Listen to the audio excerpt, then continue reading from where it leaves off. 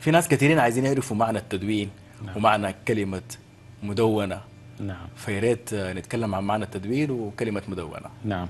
طيب بسم الله الحمد لله والصلاة والسلام على رسولنا نبينا محمد وعلى آله وصحبه أجمعين.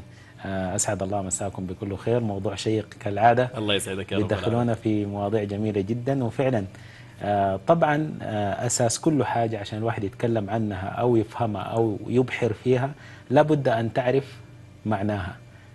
معنى الشيء وتفرق لأنه ناس كثيرة بتلخبط بين الكتابة والتدوين.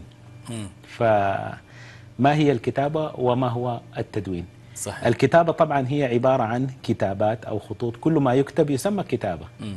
دي الكتابة بصفة عامة مم.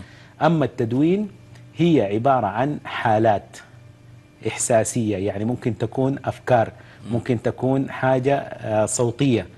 يعني زي تدوين القرآن الكريم صحيح تدوين الحديث مم. يعني من الحالة الصوتية يحول إلى حالة كتابية, كتابية. في مصحف نعم مم. فالتدوين هو تحويل النص.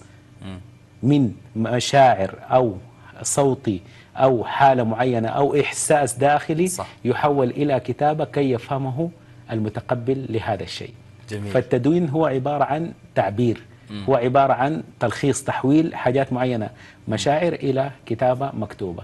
فالمدونة تعتبر هي آه، كل ما يكتب آه، يعبر عن شيء آه، بين دفتي كتاب في مكان يحفظ.